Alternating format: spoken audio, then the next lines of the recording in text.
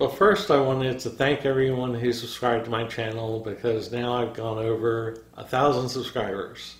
It's taken a little over two years, which is longer than I expected, but now that my channel is starting to growing, hopefully the YouTube algorithm will start recommending my videos more and, and it'll be growing faster. And also now that I've reached a thousand subscribers, I should be able to get super chats and ads. I promise I'm not going to put a lot of ads in the middle of the videos because I don't want people turning off. For me, the message is more important than the money. And so if you ever feel like there's too many ads, then complain, let me know. And but I'm hoping to use super chats and do live streaming once I'm eligible and that way you can ask me questions that I can answer while I'm discussing various physics topics. And so hopefully in the next couple weeks or month, I can start doing that. And I'll let you know in future videos. And for those who watch me regularly, you may realize that I haven't produced a video in about two weeks. And that's because I've been following the Russia-Ukraine war and been distracted by that. And part of the reason is that one of my grandfathers was born outside Ternopil. And so one eighth of my family is from what's now Ukraine. It was Austria at the time, and my great grandfather considered himself to be Austrian from the late 19th century. But I consider myself to be part Ukrainian. And so for me, the war has some personal elements. I know some Ukrainians. I've been to Ukraine to visit my family and do research on my my heritage. And so I have a great deal of sympathy. I also know a lot of Russians. In the physics community, I communicate with a lot of Russians. I met a number at conferences. I also met Russians when I lived in Bulgaria and so I don't understand how this happens. The Russian people I've met have been nice for the most part. I mean, there were some anti Americans in Bulgaria and other places, but it's always the same thing you hear everywhere. Oh, your, your people are great, but your politicians are terrible. And so the Russians I met who don't like America still like Americans and vice versa. Um, and so I don't understand the war atrocities. How can how can people hate other people so much, especially when they have some common shared heritage? And that aside, in the news more recently, you may have heard that when the Russians retreated from Kiev, that some of the soldiers who had stayed in the Chernobyl area received excessive radiation exposure. And some of the radiation specialists, a couple I know or met, have said, oh, it's impossible. Well, actually, it's not impossible. And the reason is, is because they buried so much material on site, so much radioactive material on site. And while it's true, if you had low levels of radiation exposure at the surface and there was no subsurface radioactive material, then then it, it wouldn't make sense that anyone would have these high levels of exposure that would be dangerous to their health. But that's not what happened in Chernobyl in some of the areas, particularly around the Red Forest. And for those who aren't familiar, the Red Forest is an area in the direction the wind was blowing where when Chernobyl blew up.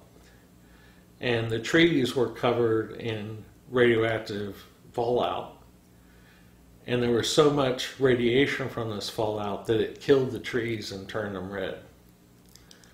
And the amount of radiation exposure it takes to kill trees is many times what it takes to kill humans. I don't know the number off the top of my head, but I guess it's it has to be more than 10 times the exposure. So the amount of radioactive material that was on those trees is huge and highly dangerous.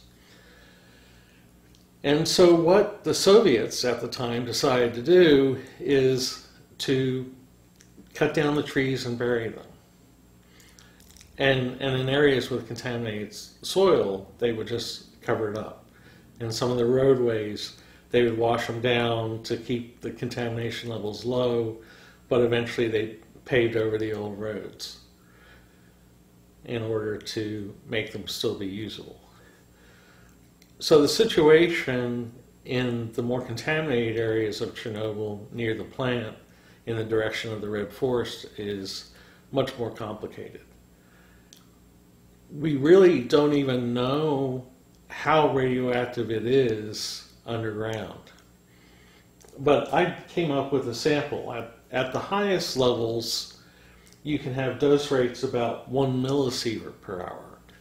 And keep in mind that natural dose rates are usually in the microsievert per hour range. So we have, and, and I'll say that when I was driving in the van, when we went close to the Red Forest, we were going through it on a road. I had a dosimeter up and was reading it, and it went over 80 microsieverts per hour.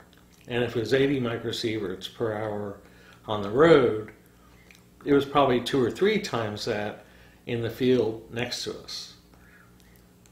And by the way, there were fields where trees have never grown back, even though trees have flourished elsewhere in the exclusion zone. It's so radioactive and so toxic that trees don't grow in some patches of land in and around the Red Forest.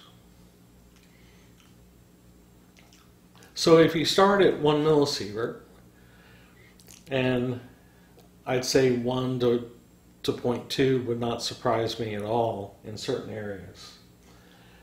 The half thickness for cesium, cesium has a gamma that's over 1 MeV, and so its its intensity is reduced by about half in a meter of compact, compacted soil or a meter of concrete, roughly. So using RADCON math, we could say, okay, it doubles every meter. So at two meters, you could have four times the exposure if the dose is coming from below ground. And then there's also strontium 90, which is a beta emitter, which is more easily shielded by the soil. But if you dig into a layer of contamination from what came at the time of the explosion, or a bunch of buried trees and tree debris, then it could be 4 millisieverts per hour at the surface. But because you have strontium 90 and other isotopes, you could be 8. And then now, instead of having standing on flat ground, which is like a, a plane source, you have walls beside you that have contamination in them. And the walls are contaminated, so you're being irradiated from all sides. So all of a sudden, you could have two or three times the exposure from that. So once again, using Radcon math, we could say 16 millisieverts. And for those who don't know, the term radiological controls is sometimes abbreviated to RADCON when you're working in the field as a health physicist. So you could have 16 millisieverts per hour. So in inside a trench. Well, if you're in the trench for 24 hours a day, that's 384 millisieverts per day. And if you're there for two weeks, that's 5.4 sieverts of exposure, potentially. So 5 sieverts is known as the LD 5030. 50% of the people will die within 30 days. And this is only a very rough estimate. We don't know without particulars how much radiation exposure they were getting. Now that the Russians have left, the International Atomic Energy Agency has come in, and I'm sure they'll have a team of investigators make some measurements and do some tests and make a plan for recovering some of these areas or dealing with the radioactive waste somehow. And eventually they will produce a report and we'll get all the details. I don't know the details, I'm in the Philippines. But I just want to say it is plausible that some people did get these high levels of exposure. And it's also plausible that they inhaled radi- radiation, radioactive dust that they dug up. And not only would they have had decay products like cesium-137 and strontium-90, which have a 30-year half-life and are the predominant sources of radiation exposure from the decay products. They could also have remnants of the fuel, transuranics that are produced within the fuel, because the entire core blew up and burned. So there could be fuel fragments, there could be powders and particulates from the fuel that are in the ground. So you could have things like plutonium 238 or americium 241 or lead 210 or polonium 210.